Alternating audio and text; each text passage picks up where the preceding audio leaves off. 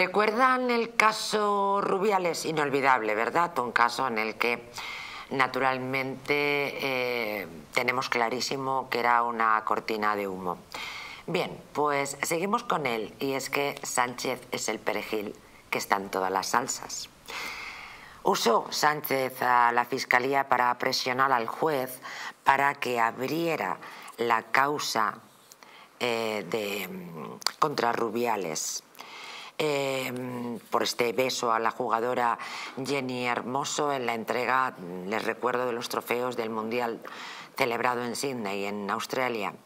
El titular del Juzgado Central de Instrucción número uno, Francisco de Jorge, se sintió presionado debido a la actitud adoptada por la Fiscalía, cuyo máximo representante es el fiscal general del Estado, Álvaro García, hombre de confianza de la exministra socialista y su antecesora en el cargo, Dolores Delgado, y que contó con el beneplácito del presidente Pedro Sánchez.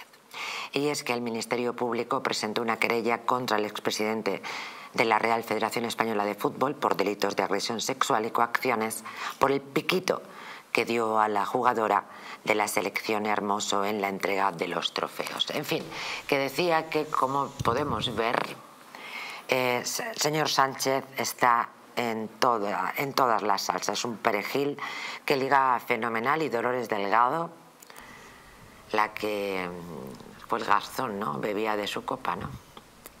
Inolvidable. ¿Qué cosas pasan en España? Bueno, yo creo que es que le estamos dando vueltas a, lo mismo, ¿no? Donde está el socialismo, donde está el nacionalismo, pues al final nada es claro, todo es turbio, todos son tejemanejes, todos son amnistías, todo es reducción de, penas o, minoración de, penas para delitos. Y mientras tanto pues el pueblo español, los trabajadores españoles pues son los que tienen que soportar todo esto y además muchos de ellos votando al socialismo pensando que el socialismo los, los, defiende cuando realmente se está riendo de ellos, los está pues bueno, eh, saqueando a través de impuestos y, bueno, pues, pues en, esa, en esas estamos.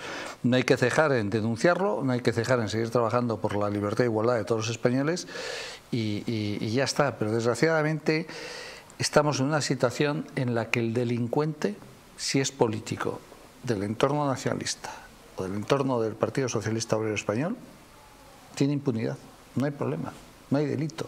No recordemos los seres o, la Cruz Roja, que fue Felipe González, porque ahora parece que Felipe González es un gran jefe de Estado, ¿no?